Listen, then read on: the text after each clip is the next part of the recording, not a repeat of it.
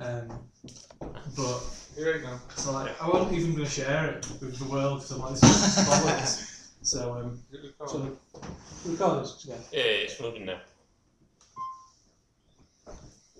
Right. We all know. Hello! Uh, here at the house of Mr. Rob Derbyshire, otherwise known as Obzine. uh, also, Adam from Craft Beer channel. Hello. Uh, this is a beer that me and Andrew enjoyed several times uh, while we we're in uh, Ohio, Crideville, uh, uh, Ashley and Scott's house. Mystic Mama, uh, India Pale Ale from Jack Pub and Brewery. Definitely. Looking forward to cracking this open. This is one that, uh, when we try to organise the day, I wanted to drink it as soon as possible because Yes. it's, when you understand when you drink it, it's just so nice. So how fresh did you get this in, in America then? Did you get it pretty much like within a couple of weeks or We just basically, it, of the kind? Yeah. Yeah. we just got it as soon as, Right. but it was just so nice. Mu- much like the uh, other beer that we just had, it's just it's you got to restrain yourself. Well, you're the one who finished the first one I know. straight away, so restrain yourself, Stu. Oh, you can have more than that. so. yeah. Uh, Stu's got the lace now. Is it? No, I don't mind. Shit, That's nice and hazy. It's uh, golden colour. It's a lot hazy, a lot more hazy than the last one. Yeah, yeah, I mean, very hazy. I'd Foamy say, yeah. head. Yeah, real nice head. I was talking to um, a significant member of the British brewing fraternity the other day, and they weren't that bothered about kind of. Um, they, they like the idea of, of having a nice clear beer, Okay. and, um, and I said, well, there is a bit of a movement, especially in the UK, towards like unfined beers and stuff like that. I, And because it's this idea that it's going to strip out a lot of um, certain compounds, but apparently if you do it right, Hmm. There's no wrong with filtered beers. See, I, I mean, I don't want to get into it now. Obviously, reviewing this, but Brewdog recently started doing that, haven't they? So, I mean, is there a is there a reason for that? Do you reckon? I mean, you, you're the one who knows, James. Oh, well, there you go.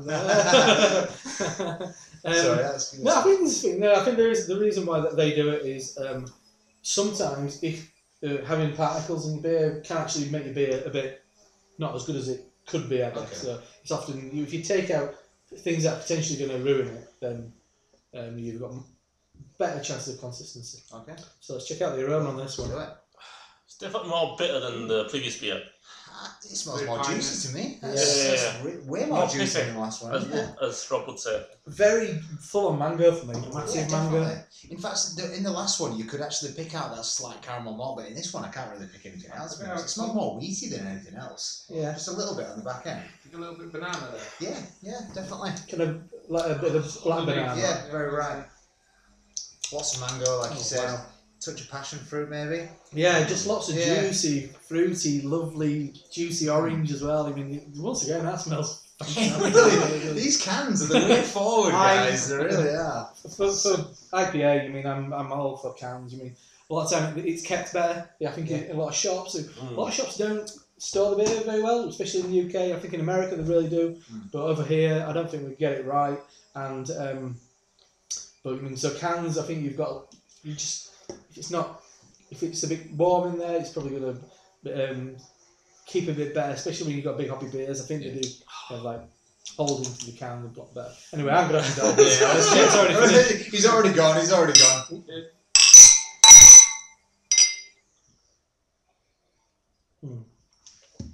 I'm just going to show you. Can. Another fantastic. Yeah, Wow. definitely. I'd say along similar lines. Yeah, very similar lines, but I think this one leaves you with a little bit, little of a longer, bit of a longer finish, bit, Mm. bit more bitterness on the after, on the uh, on the end. You know, it, it's one of those beers though. Unlike the last one, it tastes different to the aroma, Mm. don't you think? Like, Yeah. not significantly, but I think you can taste a lot more malt in the in the taste. But those, those juicier fruits definitely come through instantly. you get the AV in this one. Yeah, Yeah, I, so it's don't a know. seven, isn't it? Yeah, It's just a little bit higher than, but you, you certainly get the ABV. It's a little bit more refined and a bit more Like, uh, high. Uh, after, after a note of really bitterness though. though, Mm. like, uh, it's not as drinkable as the last one, is it? Mm. No. But it's you can still tell that it's quality. It's it's, it's quality Whereas brew, isn't it? The previous one, you could probably session good amount, Mm-hmm. this would be half the amount. You Yeah. You can have a couple. Yeah. So it's got a bit of, But- bit of hope behind it. It has got its sessionability about it because it's, it's so nice. That's it. It's when it's fla- so flavors and keeps coming back. You want more of it. That aroma's beautiful though. Mm. It's so. Still close. It's just like smelling a fruit ball. I think in the flavour, I get a bit more. It's a bit more resinous. Mm, um, definitely, I'm getting quite a marmalade thing. Maybe Yeah, kind of like a definitely burnt marmalade, sugar in yeah. there. Mm. Shredless marmalade modern. Yeah. Mm. a, a lot of like. Whereas the one before, where you'd get more the pungent orange and stuff Mm. like Absolutely. A little bit kind of slightly floral as well. Yeah. But yeah, fantastic. Right. Mm. As it says, copious amounts of pungent hops. I mean, Yeah, a lot, yeah. a lot of beers say that on it Yeah. and don't deliver that, but this certainly It does. so you've, you've got to love it when the beer delivers exactly what the market is trying to do. It really, there's nothing more irritating than when you find that you know the can or the bottle says something and you taste it and it's like no. Yeah. But this one definitely does. No, it really Definitely. does. Wow. Yeah. Uh, When you were saying about the, um, um, you can taste the ABV. I think because there is a bit of more sweetness from the malt. I mean, I don't think you're getting malt flavour. Mm. So I think there's just too much in the way hops to even anything to get through. But there is that kind of more kind of sweeter, sugary thing going on. Yeah. Which, but doesn't detract at all because those hops are absolutely smacking around. the Definitely. chops. See it, buy it. Yeah. Storming. Brilliant beer. So that's a can of Jackie O's Pub and Brewery Mystic Mama India Pale Ale, 7% ABV from Athens, Ohio. Check it out. Cracking. See you next time. You Cheers. take. Cheers. Bye.